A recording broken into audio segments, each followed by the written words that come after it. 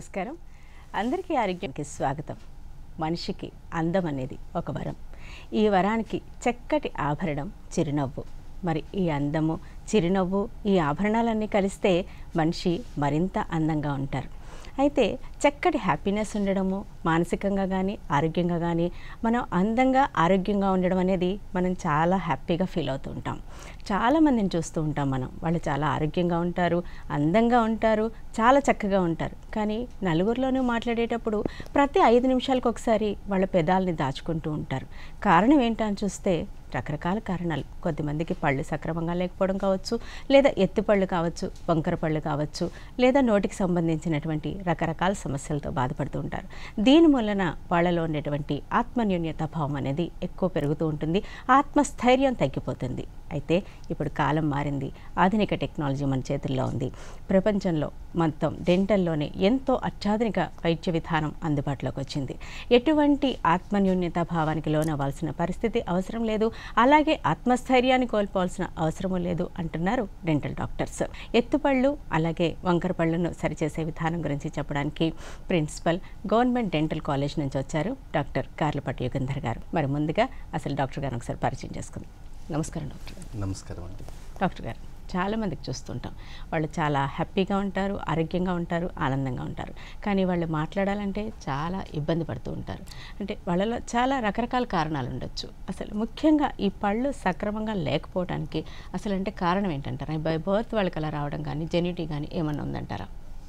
ముఖ్యంగా ఈ ఎత్తుపళ్ళు వంకరపళ్ళు ఈ రకమైన సమస్యలతో బాధపడటానికి కారణం జన్యుపరమైన సమస్యలు ఒకటైతే రెండోది అలవాట్లు. అలవాట్లు అంటే చిన్న వయసులోనే నోట్లో వేలేసుకోవటం కొంతమంది పెదం వేసుకోవటం అలా చాలా కాలం అలా దీర్ఘకాలంగా అలవాటు కంటిన్యూ అవటమే కాకుండా ఆహారపు అలవాట్లు కూడా ఆహారం తీసుకునే ప్రక్రియ.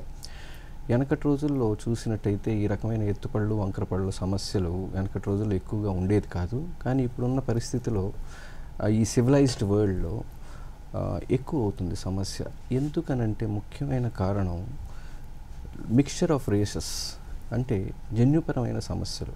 అంటే ఒక మిక్చర్ ఆఫ్ రేసెస్ అంటే ఎథనిక్ ఆరిజిన్స్లో కూడా చాలా డిఫరెంట్ డిఫరెంట్ జెనెటిక్ కాన్స్టిట్యూషన్ ఉంటుంది. అందులో ఎప్పుడైతే డిఫరెంట్ జెనెటిక్ కాన్స్టిట్యూషన్ మిక్చర్ ఉంటుందో ఒక జన్యుపరమైన తండ్రిలో ఒక దవడ సైజు చిన్నదయ్యుండి ఉండి తల్లికి పళ్ళ సైజు ఎక్కువ ఉందనుకోండి ఉదాహరణకి. ఇలాంటి వాళ్ళకి పళ్ళ సైజు ఎక్కువగా ఉండి దవడ సైజు చిన్నగా ఉన్నప్పుడు అవి సరిగా ఎమడక. వంక టింకర్గా రావటం పళ్ళు ఎత్తుగా రావటం ఇలాగ జెనెటిక్ కాన్స్టిట్యూషన్లో ఒక ఇబ్బంది ఉండటం మూలాన ఈ సమస్య రావటం ఒక ఎత్తు అయితే. రెండోది అలవాట్లు. చిన్నప్పుడే ఊరడించడం కోసం పాలసీసా పెట్టడం ఎక్కువగా దీర్ఘకాలం పెట్టడం ఇదే అలవాటు తర్వాత నోట్లో వేలేసుకోవటం పెదం వేసుకోవటం.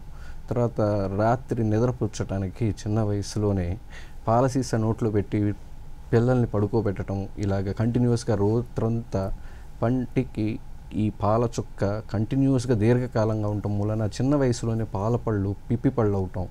ఆ పిప్పి పళ్ళని ప్రాథమిక దశలో ఉండాల్సిన సమయం కన్నా ముందే తీ ఉండాల్సిన సమయం కన్నా ముందే తొలగించాల్సిన అవసరం వస్తే దాని ప్రభావం దవడ ఎదుగు మీద ఎదుగుదల మీద కూడా ఉంటుంది. ఈ ఎదుగుదల మీద ప్రభావం ఉండటం మూలాన పళ్ళు వచ్చే పళ్ళకి సరి అయిన స్పేస్ ఉండదు. ఈ ఉండకపోవటం వలన అవి వంకటింకరగాను ఎత్తుగాను ఇలా పంటి సమస్యలకి దారితీస్తుంది. ఇది ఇదే కాకుండా ఆహారపు అలవాట్లు కూడా. వెనకటి రోజుల్లో చూసినట్టయితే ఎక్కువగా అన్కుక్డ్ ఫుడ్స్ రా వెజిటబుల్స్ కానీ ఫ్రూట్స్ కానివ్వండి లేదంటే రిఫైన్డ్ ఫుడ్కి అలవాటు ఉండేది కాదు.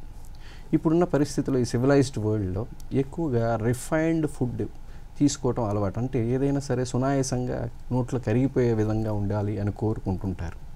ఈ రకంగా ఉండటం వలన ఈ నోటి పళ్ళకే కాకుండా పంటికి ఈ దవడకి సంబంధించిన మజిల్స్ ఏదైతే ఉంటాయో అవి సరి అయిన పని తగ్గిపోతుంది. దానికి పని కల్పించలేకపోవటం మూలాన దవడ ఎదుగుదల మీద కూడా ప్రభావం ఉంటుంది. ఈ దవడ ఎదుగుదల ఎప్పుడైతే సంపూర్ణంగా ఉండదో ఆ ప్రదేశంలో వచ్చే పళ్ళకు కూడా సరిపోయిన దవడ సైజు ఉండదు. దీని మూలాన వంక రావటం పళ్ళు ఎత్తుగా రావటం ఇలా సమస్యలు దీర్ఘకాలంలో వెనకటి రోజులతో పోలిస్తే ఈ రోజుల్లో రిఫైన్డ్ సివిలైజ్డ్ వరల్డ్లో ఎక్కువ అవుతుంది. అందుకని యూజువల్గా మాకు వచ్చే పేషెంట్స్లో కూడా పెద్ద వయసు వాళ్ళు వచ్చినప్పుడు మా రోజుల్లో ఇన్ని సమస్యలు ఉండేవి కాదండి. ఈ మధ్య మరీ పిల్లల్లో చిన్న వయసులోనే పళ్ళు పాడైపోతున్నాయి. తర్వాత ఈ పళ్ళు వంకటింకలు మా మా ఫ్యామిలీస్లో ఎవరికీ లేదు. కానీ ఈ మధ్య కాలంలో మీ పిల్లల్ని చూస్తే ప్రతి ఒక్కళ్ళకి ఈ సమస్యలు వస్తున్నాయి. ఏందండి అని కామన్గా అడగటం అనేది కూడా గమనిస్తూ ఉంటాం. ఇది ముఖ్యంగా ఏంటంటే ఈ సివిలైజ్ వరల్డ్లో రిఫైన్డ్ ఫుడ్స్ ప్లస్ దవడకి కావాల్సిన కండరాలు దవడ కండరాలకు కావాల్సిన పని కల్పించకపోవటం మూలాన కూడా ఈ రకమైన సమస్యలు ఎక్కువ అవుతున్నాయి డాక్టర్ గారు చాలా చక్కగా క్లియర్గా చెప్పారు. అయితే యాక్చువల్లీ ఇప్పుడు మీరు చెప్పినట్టు అంటే పిల్లలు పుట్టినప్పుడు వాళ్ళకి పాల సీసాల వల్ల అంటే వాళ్ళ పళ్ళు ఊడిన తర్వాత వాళ్ళకి మళ్ళీ సక్రమంగా వచ్చే అవకాశం ఉంటుందంటారా? అంటే ఇందులో నేను చెప్పింది ఏదైనా వాడాల్సింది కరెక్ట్ టైం వరకు వాటిని ఉపయోగించుకోవాలా. అవి ఎప్పుడైతే తొలగిస్తామో అంటే పిప్పి పళ్ళ వల్ల చిన్న వయసులోనే పిప్పి పళ్ళు అవటం ఈ పిప్పి పళ్ళు అవటం మూలాన విపరీతంగా సెప్టిక్ అవటం చీము కారటం విపరీతమైన బాధ కలిగటం మూలాన అవి ఉండాల్సిన సమయం అంటే సుమారు పన్నెండేళ్ళ వయసు దాకా ఉండాల్సిన పన్నెండు పద్నాలుగేళ్ళ వయసులో ఉండాల్సిన సమయం కన్నా ఏ పది సంవత్సరాలకో తొమ్మిది సంవత్సరాలకో తొలగించేసామనుకోండి అప్పుడు దాని ప్రభావం ఈ దవడ నవిలే ప్రక్రియ తగ్గిపోతుంది. తర్వాత దవడ ఎదుగుదల మీద కూడా ప్రభావం ఉంటుంది. అంటే ఎదగాల్సిన స- సైజు ఎదగదు. దాని మూలాన వచ్చే పర్మనెంట్ పళ్ళు శాశ్వత దంతాలకి సరిపడా గ్యాప్ ఉండదు. ఈ గ్యాప్ లేకపోవటం మూలాన అవి ఎముక లోపల ఇరుక్కుపోవటం వంక టింకరగా రావటం అంటే సరైన దవడ నిష్పత్తి ఉంటే కనుక సక్రమంగా వస్తాయి పళ్ళు. ఎప్పుడైతే నిష్పత్తిగా కరెక్ట్గా ప్రపోర్షనేట్గా పెరగలేదో ఇవి అకామిడేట్ అవడానికి వంక టింకరగా లేదా ముందుకు ముందుకు జరిగి పళ్ళు ఎత్తుగా కానీ రావాల్సిన అవసరం ఉంటుంది. ఇది సాధారణంగా జరిగే సమస్య. అందుకనే చిన్న వయసులో కూడా పాలపళ్ళలో సమస్యలు ఉన్నా పాలపళ్ళే కదా ఎట్లా ఊడిపోయి వస్తాయి కదా అనేసి అశ్రద్ధ చేసి వాటికి తర్వాత సమస్యలకు ఎదుర్కొనే దీర్ఘకాల సమస్యలు ఎదుర్కొనే పరిస్థితి రాకముందే చిన్న ప్రాయంలోనే ఆహ ఆహార అలవాట్లని సక్రమంగా నియ కరెక్ట్గా డిసిప్లిన్డ్గా చూసుకోవటం మరీ రిఫైన్డ్ ఫుడ్ కాకుండా కొద్దిగా ఫైబర్ ఉన్న డైట్ తీసుకోవటం తర్వాత బ్రష్ చేసుకునే విధానం పట్ల వాళ్ళకి మంచి ట్రైనింగ్ చిన్న వయసులోనే ఇచ్చినట్టయితే వాళ్ళకి లైఫ్ టైం మనం మంచి దంత సిరిని ఇచ్చే అవకాశం ఉంటుంది. మూడోది అవసరం ఉన్నా లేకపోయినా రొటీన్ డెంటల్ చెకప్ అవసరం. ఆరు నెలలకు కానీ సంవత్సరానికి కనీసం ఒక్కసారైనా రొటీన్ చెకప్ చేయించుకుంటే ఏదైనా చిన్న చిన్న పిప్పి పళ్ళు ఏమన్నా ఉన్నా కూడా వాటిని చిన్న పరిస్థితిలోనే వాటిని అరికట్టేసి మళ్ళీ సమస్య పెరగకుండా జాగ్రత్త పడవచ్చు. అది కనుక అశ్రద్ధ చేసి సెప్టిక్ అయ్యి తర్వాత వాటిని నెప్పి ఊడిపోయే పళ్ళే కదా అని అశ్రద్ధ చేసి దాని ప్రభావం దవడ ఎదుగుదల మీద తర్వాత వచ్చే పర్మనెంట్ పళ్ళు కూడా ఎగుడు దిగుడుగా ముఖ అందవికారంగా రావటం దవడ ఎదుగుదల మీద ప్రభావం ఉండటం ఇలాంటి సమస్యలకి దారి తీయకుండా చిన్న ప్రాయంలోనే మనం పాల పళ్ళను సైతం జాగ్రత్తగా చేసుకోవటం చాలా అవసరం. ఓకే. డాక్టర్ గారు ఇప్పుడు మీరు చెప్పినట్టు ఈ ఎత్తిపళ్ళు వంకర పళ్ళని ఏ వయసు వారి నుంచి మనం సరిచేయచ్చు అంటారు? అంటే జనరల్గా ఒక అంటే మనలో ఒక అపోహ ఉంది. పళ్ళు తీస్తే కంటికి సమస్య అనేది మనం వింటూ ఉంటాం. అట్లా అంటే బిఫోర్ ఎయిటీన్ ఇయర్స్ లోపు వాళ్ళకి మనం ఎత్తుపళ్ళని వంకర పళ్ళని సరిచేసేటువంటి అవకాశం ఉందా? అసలు ఏ వయసు వారికి మనం చేయొచ్చు అంటారు? మంచి ప్రశ్న అండి. ఇది యూజువల్గా పళ్ళుండి ఆరోగ్య సమస్యలు ఉన్నా వాటిని సరిగా నియంత్రించుకుంటూ అంటే షుగరు బీపీ ఉన్నవాళ్ళు సైతం ఇలాంటి సమస్యలు ఉన్న వాటిని డిసిప్లిన్గా నియంత్రించుకుంటూ ఒక లైఫ్ స్టైల్కి అలవాటు పడిపోవటం. తర్వాత పళ్ళుండి ట్రీట్మెంట్ చేయించుకోవాలనే శ్రద్ధ ఉంటే పళ్ళు ఉన్న వాళ్ళు ఏ వయసు వాళ్ళు అయినా సరే ఈ ఎత్తుపళ్ళు వంకర పళ్ళు సరి చేసుకునే అవసరం ఉంది అవకాశం ఉంది. అంటే చిన్న వయసు పాల పళ్ళలో వయసులో ఉన్న వాళ్ళ సైతం వయసే కాకుండా డెబ్బై ఎనభై ఏళ్ళ వాళ్ళకు కూడా ఈ ట్రీట్మెంట్ చేసుకునే అవకాశం ఉంది. పళ్ళుండి చేయించుకోవాలన్న శ్రద్ధ ఉండి జనరల్ హెల్త్ కండిషన్స్ బాగుండి ఒకవేళ బాగోలేకపోయినా వాటిని సరిగా నియంత్రించుకొని డిసిప్లిన్డ్ లైఫ్గా ఉంటే గనక మనం వీటిని సరి చేసుకునే అవకాశం ఏ వయసు వాళ్ళకైనా ఉంటుంది. కొద్దిగా మోడిఫికేషన్స్ ఉంటాయి. పెద్ద వయసు వాళ్ళకి జీ రీజనరేటివ్ కెపాసిటీ తగ్గిపోతుంది కాబట్టి దానికి తగ్గట్టు మనం ట్రీట్మెంట్ను కొన్ని మలుచుకోవాల్సిన అవసరం ఉంటుంది. అది doctors they take care of the issue అదండి. తర్వాత మీరు ఇందాక అన్నట్టు పన్ను తీస్తే కంటికి ఎఫెక్ట్ ఉంటుంది అనేది అపోహ ఉందండి అనేసి కూడా చెప్పారు మీరు.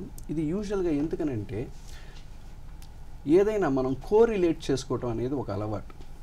ఒక సమస్య వచ్చిందంటే మనం దీనికి ఇలా జరిగింది అందుకని ఈ సమస్య వచ్చింది. అంతకుముందు ఈ స్టెప్ తీసుకున్నాం కాబట్టి ఈ సమస్య వచ్చిందని యూజువల్గా మనం కోరిలేట్ చేసుకుంటాం. యూజువల్గా పళ్ళ సమస్య కళ్ళ సమస్య వయసు పెరిగిన వాళ్ళకి వస్తుంది. ఏదైనా పంటికి సంబంధించిన ట్రీట్మెంట్ చేయించుకున్న తర్వాత నెక్స్ట్ అపాయింట్మెంట్ ఒకవేళ కంటి డాక్టర్ దగ్గరికి వెళ్ళినప్పుడు వాళ్ళు ఏంటంటే కోరిలేట్ చేసుకుంటారు. నేను మొన్న ఒక బిర్యానీ తిన్నానండి అందుకే నాకు అల్సర్ వచ్చిందండి. అలా కోరిలేట్ చేసుకోవటం అనేది ఒక మనిషి స్వభావం. అందుకని ఒక కంటి డాక్టర్కి వెళ్ళినప్పుడు డెంటల్ అపాయింట్మెంట్ తర్వాత కంటి డాక్టర్ దగ్గరికి వెళ్ళినప్పుడు దే కోరిలేట్ మొన్న పన్ను తీశారు కాబట్టి నాకు కంటికి ఎఫెక్ట్ వచ్చింది అనేది ఒక కోరిలేట్ చేసుకొని ఈ రకంగా ఒక అపోహలాగా వచ్చింది. వాస్తవానికి పంటికి కంటికి ఎటువంటి సంబంధం లేదు. ఇంకా చెప్పాలంటే ఏదన్నా మైనర్ సర్జికల్ ప్రొసీజర్ శరీరంలో ఎటువంటిది చేయించుకోవాలన్నా ఇంక్లూడింగ్ కార్డియాక్ సర్జరీస్ కానీ ప్యాంక్రియాటిక్ కానీ జాస్ట్రాంటల్ సర్జరీ ఎటువంటి సర్జరీ చేయించుకోవాలన్నా నోరు శుభ్రంగా ఉండాలి. దీన్ని ఫోకల్ ఆఫ్ ఇన్ఫెక్షన్ అనేది అంటాం. యూజువల్గా ఏమన్నా ఇన్ఫెక్షన్ కానీ ఏమన్నా చీమ్ కానీ ఏదన్నా నోట్లో అశుభ్రత వల్ల మెయింటెనెన్స్ లేకపోవటం మూలాన ఈ రకమైన బ్యాక్టీరియా అది ఎక్కువగా ఉండటం మూలాన సర్జరీ ఏదన్నా చేస్తే ఈ ఎండోటాక్సిన్స్ అనేసి ఈ నోట్లో ఉన్న సూక్ష్మక్రియల ప్రభావం రక్తంలో కలిసి ఈ రక్తంలో కలిసి ఇది ప్రవాహించి ఎక్కడైతే సర్జరీ చేశారో అక్కడ సెకండరీ ఇన్ఫెక్షన్ రావటం కానివ్వండి సర్జికల్ ఫెయిల్యూర్ అయ్యే కానీ అవకాశాలు ఎక్కువ ఉంటాయి. అందుకనే ఒక మెడికల్ ఫీల్డ్లో ఎస్పెషల్లీ సర్జికల్ ఇంటర్వెన్షన్ చేసే ముందు కంపల్సరీ డెంటల్ చెకప్ అనేది చాలా అవసరం. ఎందుకంటే ఈ ఫోకల్ ఆఫ్ ఇన్ఫెక్షన్ మూలాన ట్రీట్మెంట్ సక్సెస్ రేటు తగ్గిపోకుండా పర్ఫెక్ట్ రిజల్ట్స్ రావాలి అంటే నోరు శుభ్రంగా ఉంచుకోవడం కూడా చాలా అవసరం. ఇంతేకాకుండా నోరు అశుభ్రత వల్ల కూడా నేను ఇందాక చెప్పినట్టు ఈ బ్యాక్టీరియా వెలువరిచే విష పదార్థాల ప్రభావం మూలాన అవయవాల మీద ప్రభావం ఉంటుంది. దీ ఈ అభావయాల మీద ఏ రకంగా ప్రభావం ఉంటుందంటే షుగరు బీపీ గుండెకు సంబంధించిన ఎండో బ్యాక్టీరియల్ ఎండోకార్డైటిస్. ఇలాంటి సమస్యలు ఎన్నిటికో నోటి అశుభ్రత వల్ల కారణాలు ఉంటాయి. ముఖ్యంగా ఈ ఫోకల్ ఆఫ్ ఇన్ఫెక్షన్ మూలాన మల్టీ ఆర్గాన్ ఫెయిల్యూర్ అవటం ఇవి ఒక మంటలో పెట్రోల్ పోసినట్టు అగ్రవేట్ అవుతాయి. అందుకనే వీటిని జాగ్రత్త చేసుకోవటం చాలా మంచిది. డాక్టర్ గారు మీరు చెప్పినట్టు నోటి ఆరోగ్యం బాగుంటే వంటి ఆరోగ్యం బాగుంటుంది అనేసి అంటూ ఉంటారు. Mouth is the mirror of the health అంటారు. ఒక నోట్లో ఒక మనిషి యొక్క నోరు చూస్తే వారి యొక్క ఆరోగ్యం ఎలా ఉంది వారి యొక్క డయాగ్నోసిస్ పరంగా కూడా నోట్లో చూస్తే వాటి యొక్క లక్షణాలు ఈజీగా గుర్తించడానికి అవకాశం ఉంటుంది. అంటే నోరు అశుభ్రంగా ఉండటం వలన వీళ్ళకి రకరకాల వ్యాధులు వచ్చేటువంటి అవకాశం ఎక్కువగా ఉంది ఎక్కువగా ఉంటాయండి. ఓకే. కొంతమందికి షుగర్ కూడా ఎంత మందులు వాడినా ఏం చేసినా కూడా కంట్రోల్ అవుతూ ఉండదు. మేము అన్ని డిసిప్లిన్డ్గా ఉంటామండి మందులు కూడా వాడుతుంటాం. డాక్టర్ గారు చెప్పినా కూడా మారు చెప్పిన సూచనల ప్రకారం మందులు వాడతాం ఎక్సర్సైజ్ చేస్తాం డైట్ కూడా కంట్రోల్ చేసుకుంటాం. అయినా షుగర్ కంట్రోల్ అవ్వట్లేదండి. అంటారు. ఇలాంటి వాళ్ళలో ఎస్పెషల్లీ మనం గుర్తించాల్సింది ఏంటంటే గమనించినట్లయితే వాళ్ళు periodical checkup చేయించుకుంటుంటారు. BP sugar kidney functioning card heart liver ఇవన్నీ ఫంక్షన్స్తో పాటు నోరు కూడా చెక్ చేయించుకోవడం చాలా అవసరం. ఎందుకనంటే అశుభ్రత వల్ల షుగరు బీపీ కార్డియాక్ ప్రాబ్లమ్స్ ఇవి కూడా నియంత్రణలోకి రావు. మందుల వల్ల ఆ ప్రభావం ఉన్నంత వరకు కానీ అసలైన కారణాన్ని మనం నివృత్తి చేయకుండా రిజల్ట్స్ ఎక్స్పెక్ట్ చేయడం అనేది వీలు పడదు. అందుకని ఇవి చాలా ముఖ్యంగా జాగ్రత్త తీసుకొని ఒక డిసిప్లిన్డ్గా ఆరు నెలలకు ఒకసారి కంపల్సరీ డెంటల్ చెకప్ అనేది చాలా అవసరం. ఎందుకనంటే ఇవి వార్నింగ్ సిగ్నల్స్ లాగా ఏమి ఇవ్వవు. నొప్పి వచ్చింది అంటే ఆల్మోస్ట్ లాస్ట్ స్టేజ్ కింద వచ్చినట్టు. అంత వార్నింగ్ సిగ్నల్స్ రాకుండా ముందు చూపుతో ఇవి చిన్న రక్తం చీము కానీ ఏమన్నా ఉన్నా కూడా సివియర్ నొప్పి రాదు. అందుకని యూజువల్గా మనిషి తత్వం ఏంటంటే అశ్రద్ధ చేస్తాం. ఈ అశ్రద్ధ వల్ల ఇంకా డ్యామేజ్ ఎక్కువ అవటం విపరీతమైన పోటు రావటం అప్పుడు పరిగెత్తడం డాక్టర్ దగ్గరికి అప్పటికి చేయి దాటిపోవటం. ఇంత స్థితికి రాకముందే మనం ఆరు నెలలకు ఒకసారి రొటీన్ చెకప్ చేయించుకుని డిసిప్లిన్డ్గా చేయించుకుంటే అవి చేయి దాటకుండా మనం జాగ్రత్తగా ఉంచుకోవటం మన డెంటల్ హెల్తే కాకుండా జనరల్ హెల్త్ కూడా చాలా చక్కగా మెయింటైన్ చేసుకోవడానికి చాలా అవసరం ఇది. డాక్టర్ గారు ముఖ్యంగా ఈ ఎత్తుపళ్ళు వంకరపళ్ళ గురించే మాట్లాడుకుంటే చాలామంది క్లిప్స్ వేస్తూ ఉంటారు. అది కూడా చూడటానికి చాలా ఆడ్గా ఉందని చెప్పేసి ముఖ్యంగా టీనేజ్లో ఉన్న పిల్లలు వీళ్ళంతా కూడా అనుకుంటూ ఉంటారు కదా. అసలు ఈ చికిత్స విధానం ఎంత సమయం పడుతుందంటారు? ఎట్లాంటి చికిత్సా విధానం మీరు ఎత్తుపళ్ళకి వంకరపళ్ళకి ఇస్తారు? మంచి ప్రశ్న అండి. యూజువల్గా ఈ ట్రీట్మెంట్ యావరేజ్గా చూసుకుంటే ఒక సంవత్సరం రెండు నెలలు సంవత్సరంన్నర పాటు పడుతుంది. అంటే తీవ్రతను బట్టి కొన్ని అయితే రెండు మూడు నెలల్లో కూడా అయిపోతూ ఉంటుంది. ఈ క్లిప్స్లో రకరకాల విధానాలు ఉంటాయి. ఒకటి తీసి పెట్టుకునే రకం క్లిప్స్. అంటే ఏదైనా సింపుల్ ట్రీట్మెంట్ ఒక పన్ను మాత్రమే ఎత్తుగా ఉండి ఏదైనా పళ్ళ మధ్యలో ఒకటి రెండు పళ్ళ మధ్యలో గ్యాప్స్ ఉంటాం. ఇలాంటి సింపుల్ ప్రాబ్లమ్స్ ఏమన్నా ఉంటే తీసి పెట్టుకునే రకం క్లిప్స్ ఇస్తాం. ఇదేంటంటే పేషెంట్ ఎప్పుడు కావాలంటే అప్పుడు తీసి వాష్ చేసుకొని భోజనం చేసేటప్పుడు తీసేయటం. కొన్ని సందర్భాల్లో భోజనం చేసేటప్పుడు కూడా పెట్టుకోవాల్సిన అవసరం ఉంటుంది. ఇవి ఎప్పుడు తీసి శుభ్రపరచుకొని మళ్ళీ పేషెంటే తీసేసుకొని మళ్ళీ పెట్టుకోవచ్చు. ఇది ఒక రకం అయితే ఇంకో పద్ధతి ఫిక్స్డ్ క్లిప్. ప్రతి ఒక్క పంటికి అంటించి ఉంటుంది ఇది. ఇది పేషెంట్ తీసేసేదానికి వీలుగా ఉండదు. ఇది డాక్టర్ మాత్రమే తీసేదానికి ఈ సంవత్సరం పాటు కానీ ఎన్నాళ్ళు అయితే ట్రీట్మెంట్ అవసరమో అన్నాళ్ళు పాటు ఈ క్లిప్ పంటికి అతికించి ఉంటుంది. ఈ అతికించి ఉండే క్లిప్పులు రకరకాలు ఉంటాయి యూజువల్గా స్టెయిన్లెస్ స్టీల్ క్లిప్స్ యూజువల్గా పిల్లల్లో గమనిస్తూ ఉంటారు. అది ఫిక్స్డ్ క్లిప్పుల్లో స్టెయిన్లెస్ స్టీల్ ఎక్కువగా వాడుతుంటాం. అలా కాకుండా మరీ ఎబ్బెట్టుగా కనిపిస్తాయి కాబట్టి అంత ఎబ్బెట్టుగా కనపడకుండా ఉండే రకంగా చేసేదానికి సిరామిక్ అంటే పంట రంగులో కలిసిపోయే పింగాణి క్లిప్పులు ఒక రకం. తర్వాత కొంతమందికి ఆర్నమెంటల్గా కావాలంటే గోల్డ్ కూడా క్లిప్స్ ఉంటాయి అన్నమాట కొద్దిగా ఆర్నమెంటల్గా చూసేదానికి ఆ బ్యూటిఫికేషన్ ఎన్హాన్స్ చేసేదానికి ఆడ్గా కనపడకుండా గోల్డ్ క్లిప్స్ కూడా ఉంటాయి. ఇవి కాకుండా సన్నటి ప్లాస్టిక్ పొర లాంటివి ఉంటాయి అన్నమాట అది పంట రంగులో జస్ట్ తొడిగేసుకుంటే అసలుకి అలాంటి తొడుగు ఉంది అనే అంత పరిస్థితి కూడా గుర్తించలేనంత పల్సిటీ కూడా ఉంటాయి అన్నమాట టూత్ పొజిషనర్స్ అంటాం వీటిని. ఇవి అసలు ట్రీట్మెంట్ జరుగుతున్న విషయం పేషెంట్కి తప్పితే ఇంకెవరికి తెలియదు.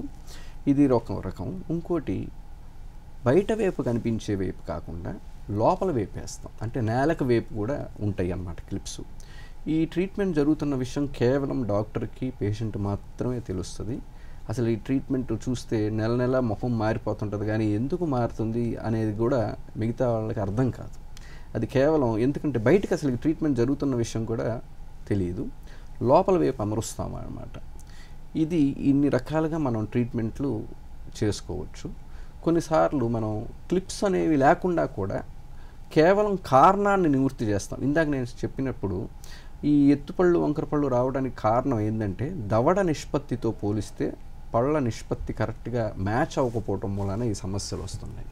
ఆ కారణాన్ని మనం కరెక్ట్గా కరెక్ట్ చేసుకుంటే పెరిగే వయసులోనే అంటే దవడ సైజు చిన్నదిగా ఉండి పళ్ళ సైజు పెద్దవిగా ఉన్నాయి అని గుర్తించినట్టయితే పెరిగే వయసులోనే కొన్ని పాల పళ్ళతో పాటు పర్మనెంట్ పళ్ళు శాశ్వత దంతాలను కూడా తొలగిస్తాం. దీన్ని సీరియల్ ఎక్స్ట్రాక్షన్ అంటాం. ఈ ప్రక్రియ ద్వారా ద్వారా దవడ సైజు పళ్ళ సైజు కరెక్ట్గా మ్యాచ్ చేసేటప్పుడు చేసినప్పుడు ఈ వంకటింకర్ పళ్ళు ప్రాథమిక దశలో ఉన్న వాటంతటా అయ్యే సరిదిద్దుకొని సరి చేసు సరి సరిపోతాయి. అంటే కరెక్షన్ సెల్ఫ్ కరెక్టింగ్గా ఆటోమేటిక్గా వాటంతట అయ్యే కరెక్ట్ అయిపోతాయి. ఇది సెల్ఫ్ కరెక్టింగ్ మెకానిజం దీన్ని ఏం చేస్తున్నాం అంటే ఇక్కడ పళ్ళ క్లిప్పులు కానీ ఏమీ వేయం. కేవలం కొన్ని పళ్ళను తీసేయటం మూలాన ఈ కారణాన్ని నివృత్తి చేయటం మూలాన ప్రాబ్లం సాల్వ్ అయిపోతుంది. సో ఇన్ని రకాలుగా మనం ట్రీట్మెంట్ చేసుకునే అవకాశం ఉంటుంది. అదే కనుక వయసు పైబడిన వాళ్ళకి దవడ సైజులో కూడా దవడలో కూడా సమస్యలు ఉన్నట్లయితే కనుక కొన్నిసార్లు క్లిప్పులతో పాటు మేజర్ సర్జికల్ ఇంటర్వెన్షన్స్ కూడా చేయాల్సి వస్తుంది. ఉదాహరణకి ఏమైనా నవ్వుతున్నప్పుడు విపరీతంగా చిగుళ్ళు కనిపిస్తున్నాయి అనుకోండి లేదా కింద దవడ విపరీతంగా ముందుకు రావటం పై దవడతో పోలిస్తే కింద దవడ ముందుకు రావటం ఇలాంటి సమస్యలు ఏమన్నా ఉంటే పళ్ళతో పాటు దవడలను కూడా సరి చేయాల్సిన అవసరం ఉంటుంది.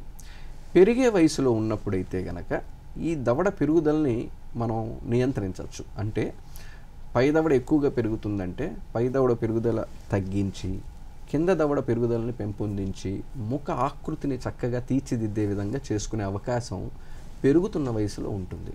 అందుకని ముఖ్యంగా ఈ క్లిప్ ట్రీట్మెంట్లు ఏవైనా సరే పెరుగుతున్న వయసులో చేస్తే ఫలితాలు చాలా చక్కగా ఉంటాయి. సునాయాసంగా ట్రీట్మెంట్ చేయొచ్చు.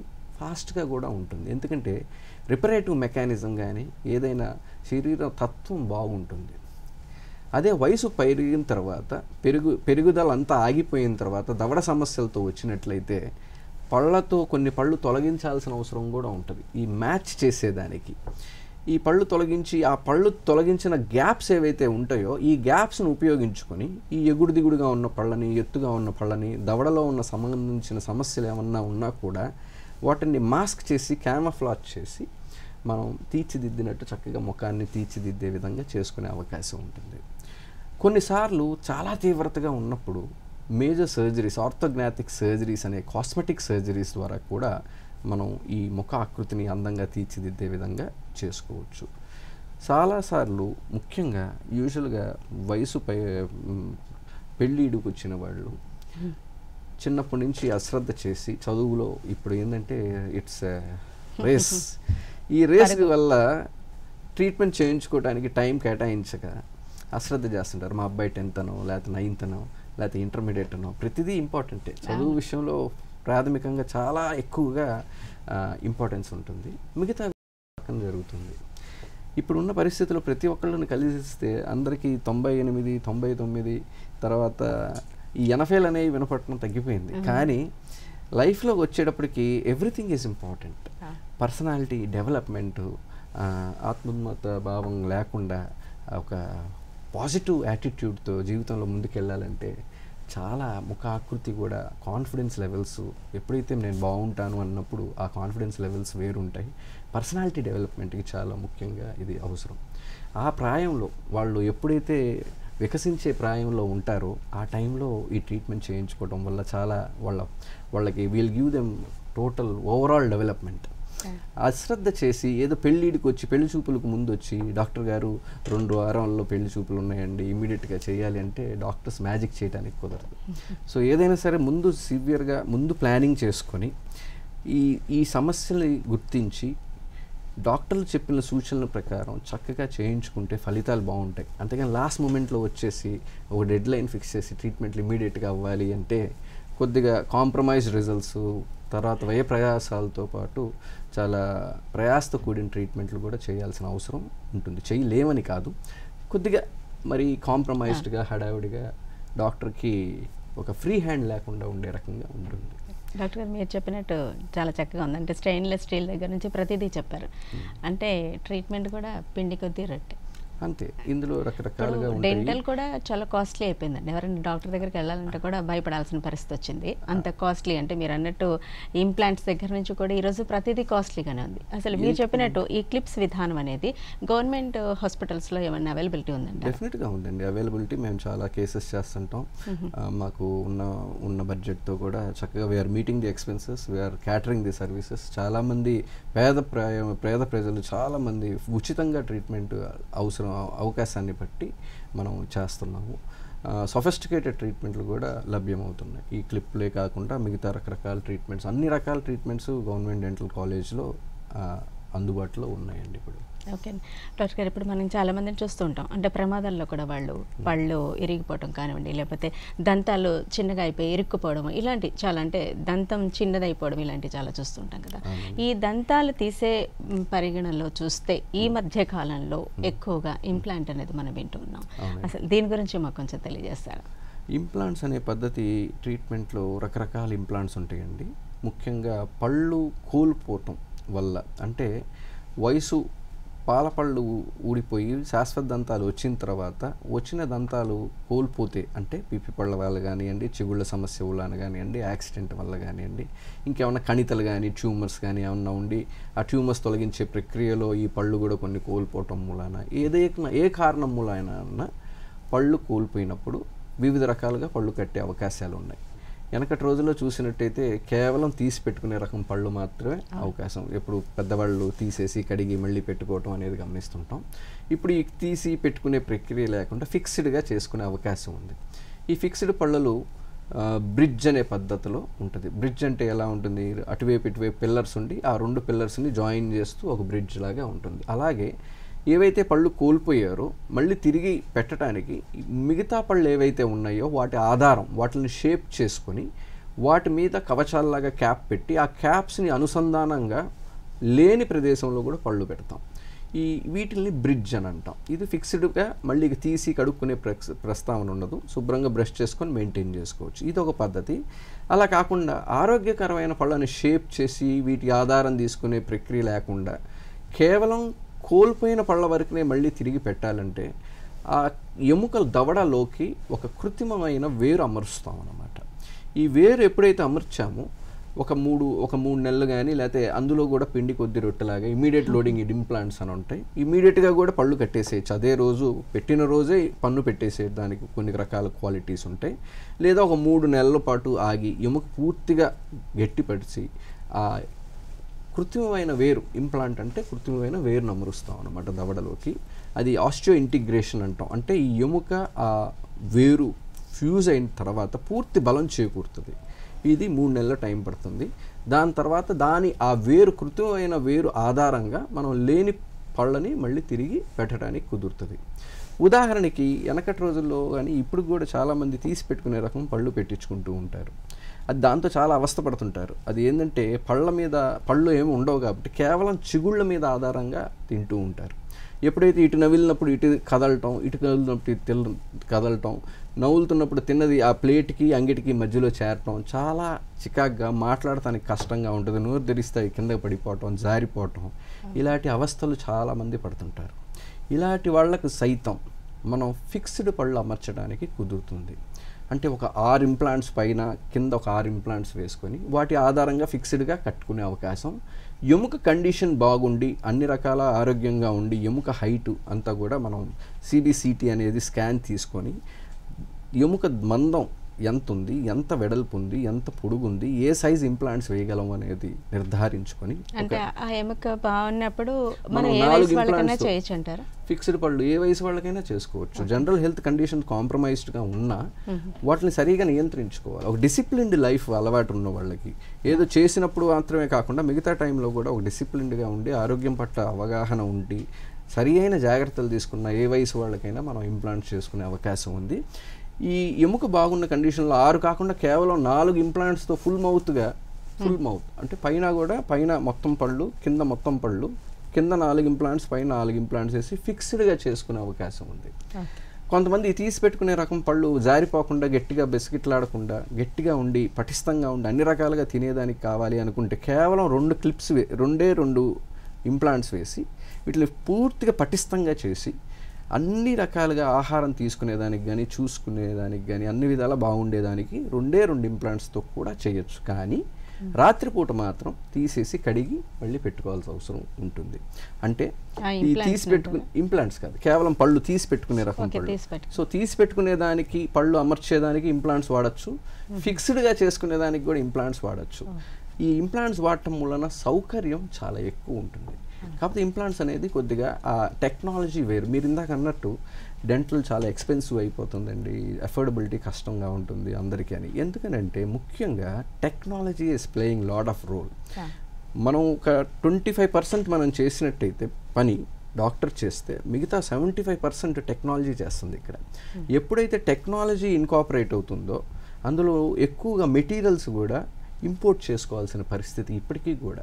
మన ఇండియాలో మ్యానుఫ్యాక్చరింగ్ కూడా చాలా తక్కువ మోతాదులో మేబీ హండ్రెడ్లో మేబీ ఒక ట్వంటీ పర్సెంట్ చేసినా కూడా మన కంట్రీలో చాలా బాగా చేసినట్టు. మిగతా eighty percent we are importing so మనం డాలర్స్లో పే చేస్తాం తెచ్చుకునేదానికి.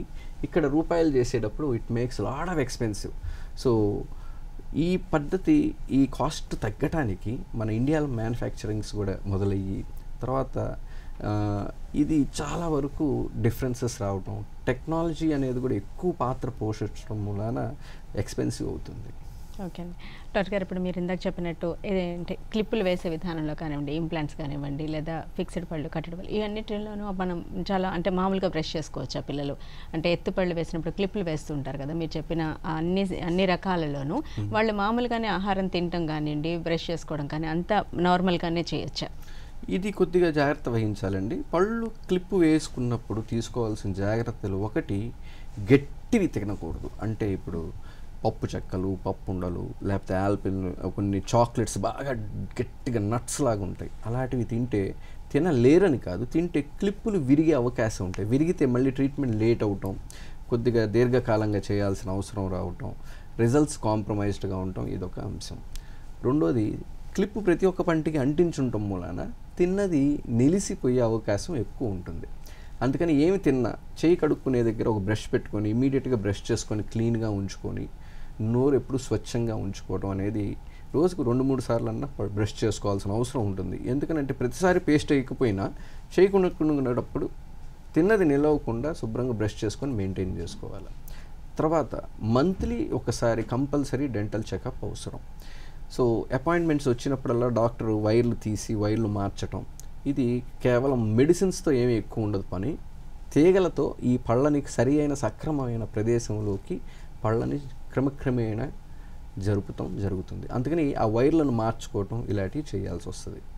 ఇంతే కాకుండా కొన్ని సందర్భాల్లో డాక్టర్ గారు వైర్లతో పాటు కొన్ని రబ్బర్ బ్యాండ్స్ లాంటి ఎలాస్టిక్స్ ఉంటాయి. అవి ఎలా వాడాలి అనేది కూడా చెప్తారు. వాళ్ళు చెప్పిన సూచనల ప్రకారం తప్పనిసరిగా రబ్బర్ బ్యాండ్స్ కానీ ఎలాస్టిక్స్ ఇవి వాడాల్సిన అవసరం ఉంటుంది.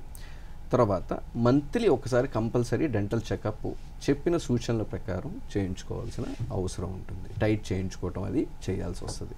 ఇవి కనుక పాటించినట్టయితే ట్రీట్మెంట్ త్వరగా అవుతుంది రిజల్ట్స్ చాలా బాగా వస్తాయి.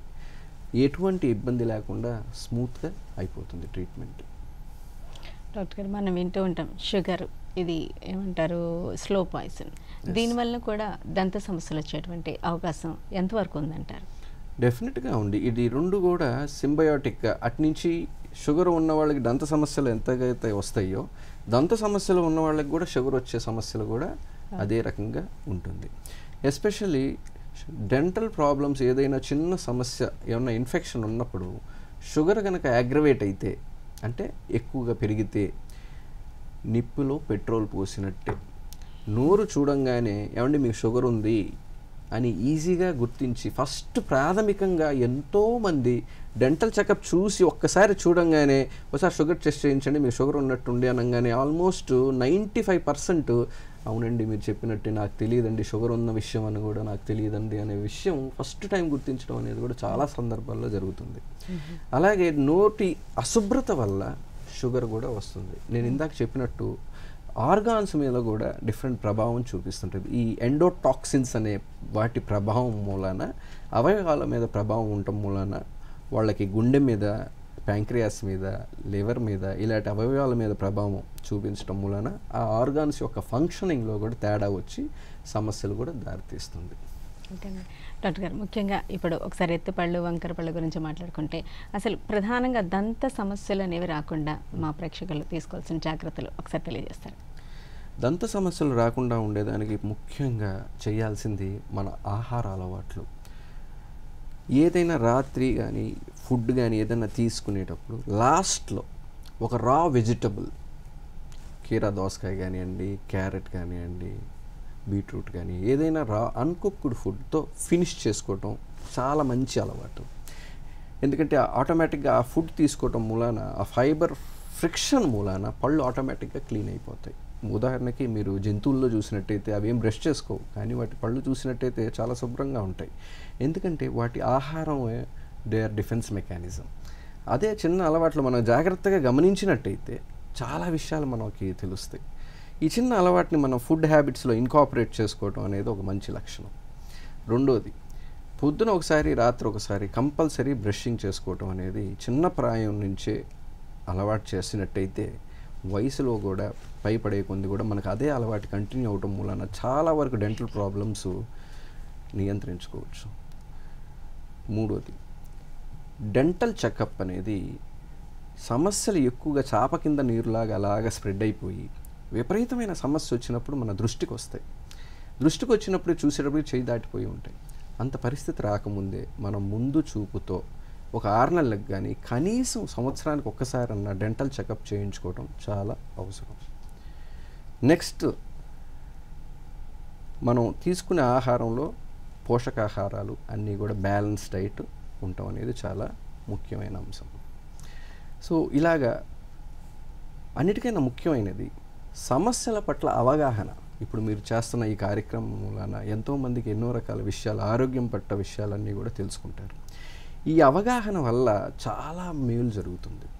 సమస్య గురించి ఒక అవగాహన ఉన్నప్పుడు వాటిని ఏ రకంగా నియంత్రించుకోవాలా ఏ రకంగా ఆ సమస్యల నుంచి దూరంగా ఉండొచ్చు అనే విషయాల్ని దృష్టిలో పెట్టుకొని ప్రతి ఒక్క సమస్యల పట్ల అవగాహన ఉన్నప్పుడు ఆలోచన విధానం మారుతుంది. దానికి తీసుకోవాల్సిన జాగ్రత్తలు కూడా జాగ్రత్తగా తీసుకొని మనం ఆరోగ్యం పట్ల చాలా శ్రద్ధ చూసుకునే అవకాశాలు ఉంటాయి. వీటిలన్నింటినీ కూడా ఒక సూచనలుగా నేను భావిస్తున్నాను. ఓకే. డాక్టర్ గారు ఇప్పుడు అంటే మనం చూస్తే చాలామంది పళ్ళు చిన్నగా విరిగిపోయి ఉంటాయి. వాటికి వాళ్ళు తొడుగులు కానివ్వండి లేదా రూట్ కెనాల్ ట్రీట్మెంట్ కానీ ఇస్తూ ఉంటారు. అసలు రూట్ కెనాల్ ట్రీట్మెంట్ అంటే ఏంటంటారు అసలు? రూట్ కెనాల్ ట్రీట్మెంట్ అంటే దీనికి కూడా చాలా సమయం పడుతుందని ఎక్కువసార్లు డాక్టర్ దగ్గరికి వెళ్ళాల్సి వస్తూ ఉంటుంది అనేది ఉమ్, చాలా మంది ఎక్కువగా అంటే ముఖ్యంగా డాక్టర్ దగ్గరికి వెళ్ళకపోవడానికి ప్రధానమైన కారణం ఒకసారి వెళ్తే మళ్ళీ మళ్ళీ వెళ్తూ ఉండాలనే దాని మీద ఒకటి. రెండోది నొప్పి ఎక్కువగా ఉంటుంది అనే భయం భయం వల్ల కూడా చాలా మంది రారు. ఇది వెనకటి రోజుల్లోగా ఉండే విషయాలు. ఇప్పుడున్న హైయెస్ట్ టెక్నాలజీ ప్రకారం చూసుకున్నట్టయితే రూట్ కెనాల్ ట్రీట్మెంట్ అనేది ఒక సిట్టింగ్లోనే అయిపోతుంది. చాలాసార్లు ఒక ఇంజెక్షన్ కూడా చేయకుండా రూట్ కెనాల్ ట్రీట్మెంట్ చేసుకునే అవకాశం ఉంది. ఉదాహరణకి లేజర్స్ ఉన్నాయి. ఈ లేజర్స్ అనేది లేజర్ బీమ్ రూట్ కెనాల్లోకి పాస్ చేస్తాం. అసలు రూట్ కెనాల్ ట్రీట్మెంట్ చేయాల్సిన అవసరం ఎందుకు వస్తుందంటే పంటిలోకి సూక్ష్మమైన నరాలు రక్తనాళాలు ప్రవేశ ఎంటర్ అవుతాయి.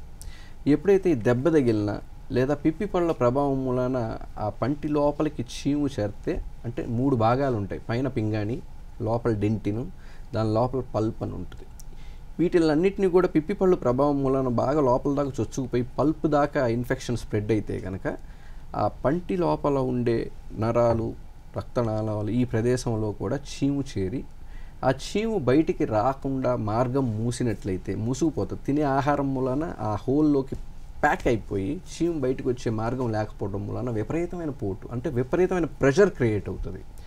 ఆ ప్రెషర్ వల్ల ఏదైనా పన్ను టచ్ చేయగానే విపరీతమైన బాధ కలిగింది. రాత్రి నిద్ర పట్టనంత నొప్పి వస్తుంది. ఎందుకంటే మనం పొజిషన్ మారుతుంది పడుకునే టైంలో. ఆ గ్రావిటేషనల్ ఫోర్స్ ఆల్టరేషన్ మూలాన పంటిలో విపరీతమైన బాధ రాత్రి నిద్ర పట్టనంత బాధ కలుగుతుంది. అలాంటి సందర్భంలో రెండు రకాల ట్రీట్మెంట్ ఒకటి పన్ను తొలగించటం. యూజువల్గా వెనకటి రోజుల్లో చేసేవాళ్ళు ఎఫర్ట్ చేయలేని వాళ్ళు ఈ రకంగా ట్రీట్మెంట్ చేయించుకుంటారు. లేదా పంటికి హోల్ చేసి ఆ పంటి లోపల ఉన్న చీము ఏదైతే ప్రెషర్తో ఉందో ఆ చీముని తొలగించి పంటి వేరు లోపల సైతం క్లీన్ చేసి మళ్ళీ పంటి లోపల చీము కానీ ఇంకేమీ ఏర్పడకుండా అది లోపల కంప్లీట్గా వేరు లోపల దాకా ఫిల్లింగ్ చేసి డమ్మీ చేసేస్తాం. ఒక ఒక లైన్ ఏమన్నా పైప్ లైన్ ఏమన్నా బ్లాకేజ్ ఉంది వాడకూడదు అంటే అందులో కాంక్రీట్ చేసి సిమెంట్ పోసేసి ఫిల్ చేసేసినట్టే ఇది కూడా డమ్మీ చేసేస్తే ఇక మళ్ళీ అందులోకి చీము ఉత్పత్తి అయ్యి చీము పేరుకుపోయే తత్వాన్ని మనం పూర్తిగా క్లోజ్ చేస్తాం. దీని మూలాన ఇక పన్నుకి రక్త ప్రసరణ ఉండదు. అందువల్ల అది మెతకపడిపోయి బ్రిటిల్ అవుతుంది. అది మనకి ఉపయోగపడే రీతిలో మలుచుకునేదానికి పన్నును షేప్ చేసి ఒక కవచం లాగా క్యాప్ పెడతాం. ఈ క్యాప్స్లో వివిధ రకాలు ఉంటాయి స్టెయిన్లెస్ స్టీల్ క్యాప్స్ అని సిరామిక్ అని metal fuse ceramic zirconium caps ఒక ఇరవై ముప్పై లక్ష రకాలు ఎన్నో రకాల క్యాప్స్ ఉంటాయి. అది కూడా రకరకాల క్వాలిటీని బట్టి చేయించుకుంటారు. ఈ క్యాప్స్ పెట్టడం మూలాన ఇవి తిరిగి శక్తిని పుంజుకొని మనకి జీవితాంతం ఉపయోగపడే రీతిలో మనకి సర్వ్ చేస్తాయి అన్నమాట దీన్నే రూట్ కెనాల్ ట్రీట్మెంట్ అని అంటారు. డాక్టర్ గారు ఓకే. ముఖ్యంగా చూస్తే మీరు ఇందాక చెప్పినట్టు అంటే చాలా రూట్ కెనాల్ ట్రీట్మెంటు ఇవి క్యాప్స్ ఇవన్నీ ఒక ఎత్తు అయితే అంటే ఏ రకంగా ఉండడం వలన అంటే దంత సమస్యలు ఎక్కువగా వచ్చేటువంటి అవకాశం ఉందంటారు? ఒకటి జన్యుపరమైన సమస్యలు. ఒక ఇనామిల్ క్వాలిటీలో జన్యుపరంగా అది డిసైడ్ అయ్యి ఆ సరైన కాంపోజిషన్ తయారయ్యేటప్పుడే పన్నులో తయారైనప్పుడే ఆ ఖనిజ నిష్పత్తి సరిగా లేనప్పుడు పళ్ళు స్ట్రాంగ్గా లేకపోవటం ఇది జన్యుపరంగా అది దాని గురించి మనం చేసేది ఏమీ లేదు. వచ్చిన తర్వాత ఆ పళ్ళు బయటకు వచ్చిన తర్వాత వాటికి సంబంధించిన ట్రీట్మెంట్ చేసుకోవటం అయితే. రెండోది చిన్న వయసులో వాటర్ ఏదైతే కన్జ్యూమ్ చేస్తామో మనం అందులో ఫ్లోరైడ్ అనేది చాలా ముఖ్యమైన మినరల్. ఎప్పుడైతే చాలామంది బోర్ నీళ్ళు కానివ్వండి బావిలో నీళ్ళు కానివ్వండి ఇలాంటివి కొంతమంది రిఫైన్డ్ ఇప్పుడు ఎస్పెషల్లీ అందరూ కూడా ఆర్ఓ సిస్టమ్లు పెట్టేసుకొని ఇంట్లో ఆ వాటర్ తాగుతున్నారు. అందులో మినరల్స్ ఉండవు. ఇవి పిల్లలు తాగటం మూలాన ఫ్లోరైడ్ మినరల్ అనేది ఉండకపోవటం మూలాన పిప్పి పళ్ళు వచ్చే తత్వాన్ని తట్టుకునే శక్తి ఆ పళ్ళకు ఉండవు. అందుకని ఖనిజాలు ఉన్న నీరు తాగటం అనేది చాలా ముఖ్యమైన విషయం. అంటే ఎట్లాంటి వాటర్ తాగాలంటారు? అంటే వాటర్ ఏదైతే మినరల్ వాటర్ అని అంటారు కానీ చూస్తే majority of the bottled waters కానీ ఏదైనా చూసినట్టయితే they are all RO refined water అందులో మినరల్స్ ఉండవు. మినరల్స్ ఉన్న వాటర్లో అందులో ఫ్లోరైడ్ నిష్పత్తి క్లోరిన్తో పాటు మున్సిపల్ వాటర్లో కూడా ఫ్లోరైడ్ అనేది ఉంటుంది. ఈ వాటర్ తాగటం మూలాన పిప్పి పళ్ళు వచ్చే తత్వాన్ని మనం అరకట్టే అవకాశాలు ఉంటాయి అన్నమాట అంతేకాకుండా వాడే టూత్ పేస్ట్లో కానివ్వండి ఫ్లోరైడ్ ఉన్న టూత్పేస్ట్ వాడటం మూలన పిప్పి పళ్ళని అరకట్టచ్చు. పిప్పి పళ్ళు సమస్య ఉండదు కొంతమందికి కానీ చిగుళ్ళ సమస్య ఉంటుంది. వాళ్ళకి ఒక రకమైన టూత్పేస్ట్లు మనం ప్రిస్క్రైబ్ చేస్తాం. వాళ్ళకి శరీర తత్వాన్ని బట్టి లాలాజల ఉత్పత్తి కొంతమందికి చాలా పల్చగా ఉంటుంది స్రావం కొంతమందికి జిగటగా ఉంటుంది. ఈ జిగటగా ఉన్న వాళ్ళకి మ్యూకస్ ఎక్కువగా ఉన్నప్పుడు ఖనిజ నిష్పత్తి లాలాజలంలో ఎక్కువ ఉంటుంది. ఇలాంటి వాళ్ళకి గార పట్టే తత్వం ఎక్కువ ఉంటుంది. వాళ్ళు ఎంత బ్రష్ చేసుకున్నా మేము బాగా మెయింటైన్ చేసుకుంటా ఉండి అయినా నాకు ఈ గార పడుతుంది. చిగుళ్ళు వాపు వస్తున్నాయి నోరు దుర్వాసన వస్తుంది. ఎన్నిసార్లు ఆరు నెలలకు ఒకసారి క్లీన్ చేయించుకున్నా నాకు ఇమీడియట్గా గార పట్టేస్తుంది అన్నది శరీర తత్వాన్ని బట్టి ఆ లాలాజలంలో ఉన్న ఖనిజ నిష్పత్తి మ్యూకస్ జగట ప్రభావం వల్ల చిగుళ్ళ సమస్య వస్తుంది. ఇలాంటి వాళ్ళు కాస్త ఎక్స్ట్రా శ్రద్ధ తీసుకోవాల్సిందే మెయింటైన్ చేసుకోవటానికి. డెంటల్ చెకప్ అనేది చాలా ముఖ్యమైన అంశం. పిప్పి పళ్ళు ఎట్లాంటి సివియర్గా ఉన్న సమస్యలని వాటిని అరికట్టి క్యాప్స్ ద్వారా మనం నివృత్తి చేసుకోవచ్చు. చిగుళ్ళ సమస్య ఉన్న వాళ్ళకి చిగుళ్ళు లోపల ఉండే ఎముక ఆధారం ఏదైతే ఉందో దాని ప్రభావం వలనే పంటి యొక్క పటిష్టత ఉంటుంది.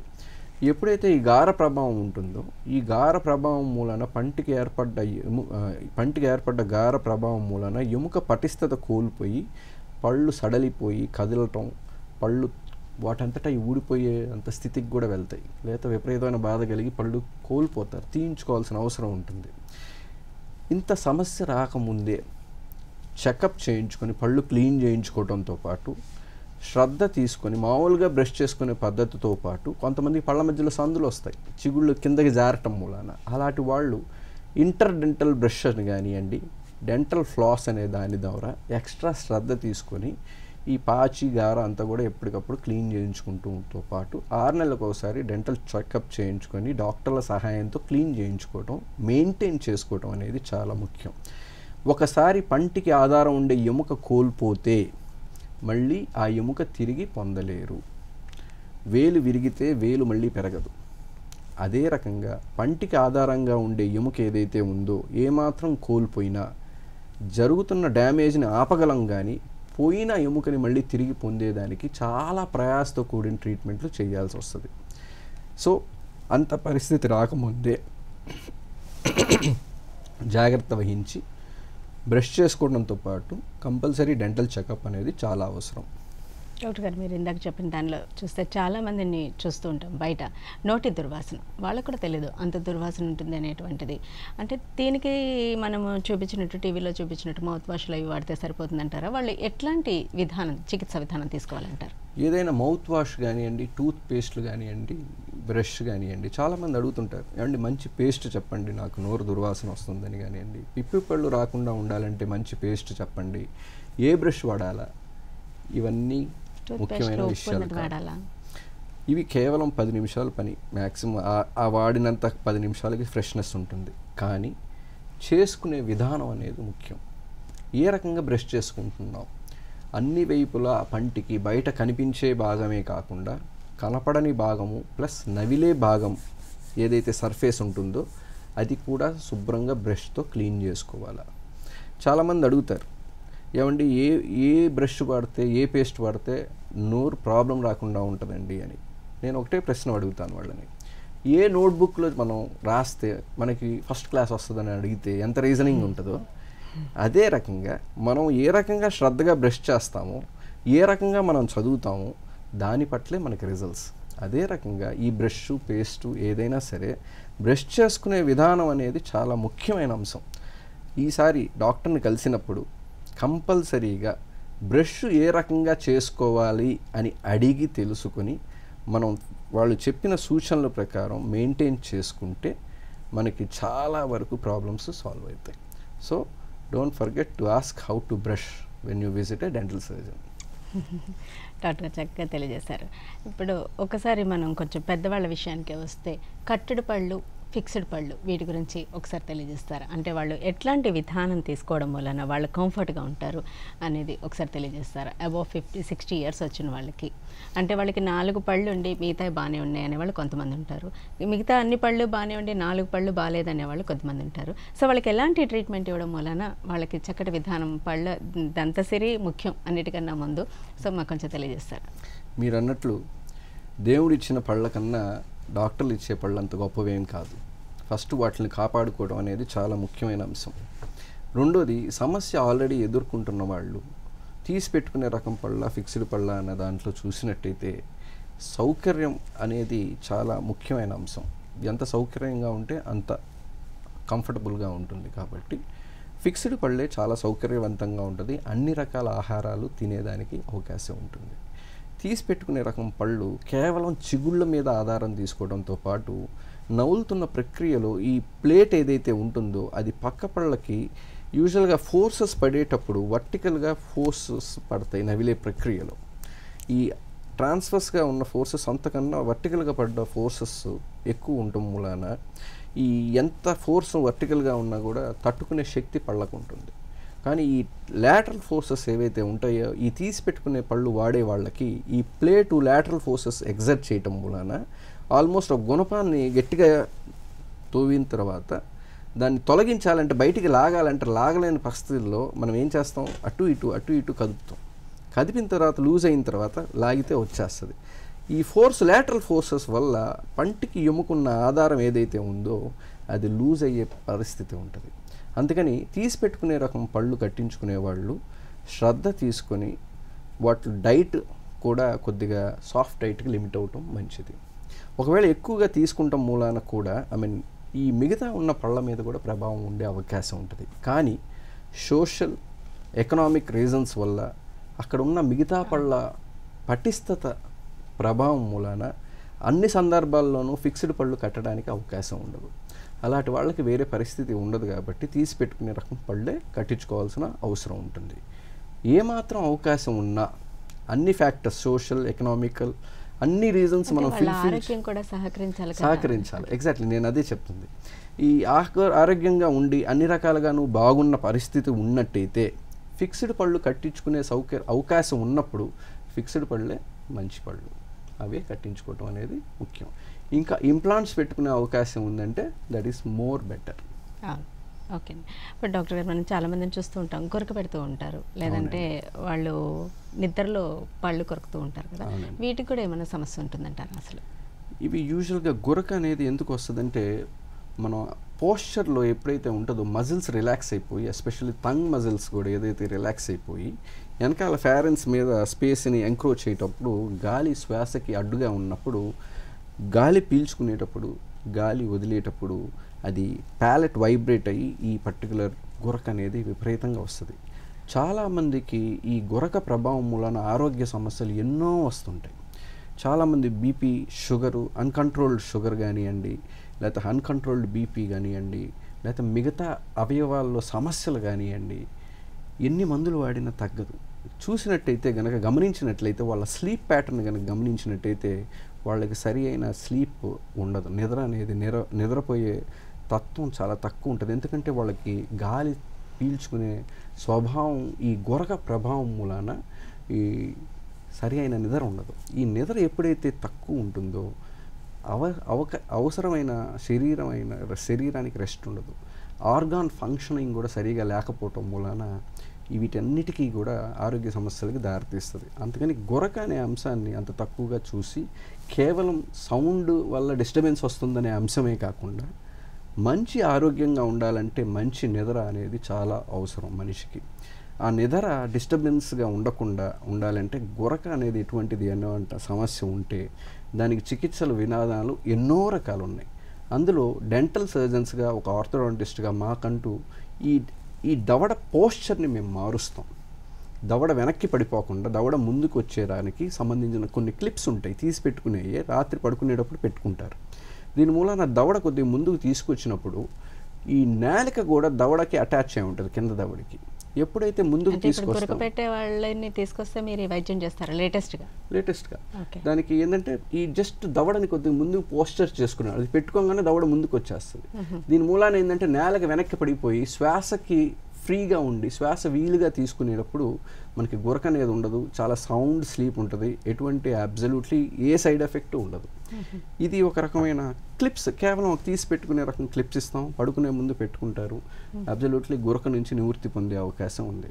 ఇకపోతే రెండోది మీరు అడిగింది అంటే ఇందాక చెప్పిన క్లిప్స్ అవి ఇవ్వాలన్నా కూడా ముందు డయాగ్నోస్ చేస్తాం ముందు ఇవాల్యుయేషన్ చేస్తాం. వాళ్ళ నేసల్ ప్యాటర్న్ ఎలా ఉంది నేసల్ అబ్స్ట్రక్షన్ కానివ్వండి వాళ్ళ ప్యాటర్న్ కానీ పోస్చర్స్ కానీ ఎక్స్రేలో స్టడీ చేసుకొని వాళ్ళకి ఎంత క్లియరెన్స్ తీసుకురావాలనేది ఒక అనాలిసిస్ చేసుకొని అదంతా కూడా ఒక ప్లాన్డ్ ప్రొసీజర్ లాగా చేస్తాం అన్నమాట. అంటే గొరక పెట్టే వాళ్ళకి మీరు ఒక క్లిప్ ఇస్తారు. ఎగ్జాక్ట్లీ ఆ క్లిప్ కూడా మనం ఏ రకమైనది ఇవ్వాలి అనేది అందులో రకాలు ఉంటాయి. వాళ్ళు పడుకునేటప్పుడు పెట్టుకొని పొద్దున్న తీసేసే ఎగ్జాక్ట్లీ అంతే. చాలా సింపుల్గా అయిపోతుంది ట్రీట్మెంట్. ఇంకోటి పళ్ళు నవిలే ప్రక్రియ. రాత్రిపూట పళ్ళు నూరుతూ ఉంటారు. విపరీతంగా పళ్ళు అరిగిపోవటం పొద్దున్నే లేవగానే దవడ నొప్పులు ఇలాంటివి ఉంటాయి అలాంటి వాళ్ళకి తీసి పెట్టుకునే రకం క్లిప్స్ ఇస్తాం. దాని మూలాన పళ్ళు అరగటం కానీ నూరటం కానీ కూడా తగ్గిపోతుంది. డాక్టర్ గారు చాలా థ్యాంక్స్ అండి. సమయాభావం వల్ల మీరు ఇంత చక్కగా చాలా క్లారిటీగా తెలియజేస్తున్నారు. కానీ సమయం వల్ల మనం ముగించాల్సి వస్తుందండి. మా దూరదర్శన్కి వచ్చి మాకు చక్కని విలువైన సమాచారం అందించారు. థ్యాంక్ యూ సో మచ్ అండి. నమస్కారం. చూసారు కదండి అందరికీ ఆరోగ్యం ఫరీన్ ప్రోగ్రాం ప్రత్యక్ష ప్రసారాన్ని. తిరిగి మరో డాక్టర్తో మరో అంశంపై కలుద్దాం. అంతవరకు సెలవు. నమస్కారం.